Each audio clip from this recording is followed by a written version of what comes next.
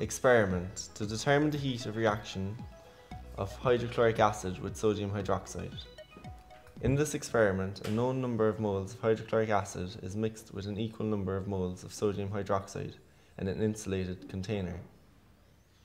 The rise in the temperature of the mixture is then measured and from this the heat of neutralization is calculated. Using a graduated cylinder, place 50 centimeters cubed of the 1 molar hydrochloric acid solution into one of the plastic cups.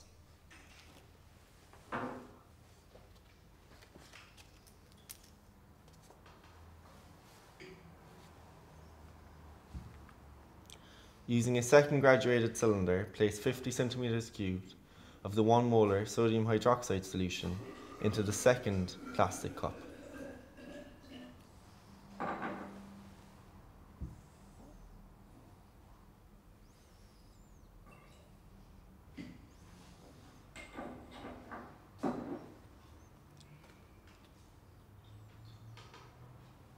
Measure the temperature of the hydrochloric acid solution.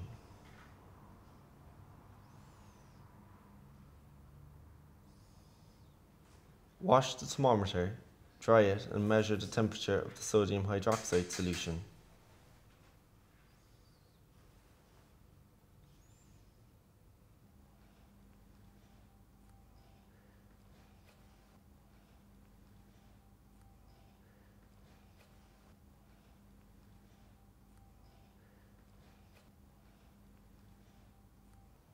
When both solutions are at the same temperature, room temperature, quickly add the base to the acid, stirring well.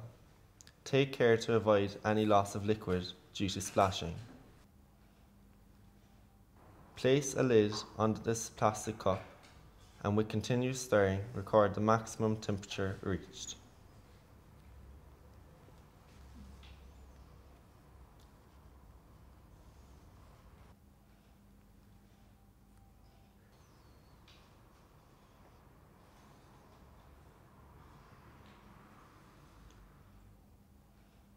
Record your results and calculate the heat liberated using the equation shown on the screen.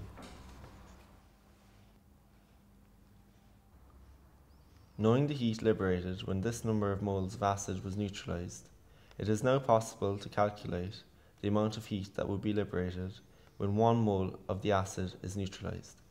That is the heat of neutralization. Using the data obtained when you carried out this experiment, Calculate the heat of neutralization. The method of calculating the heat of neutralization is shown in your textbook. And that concludes this experiment.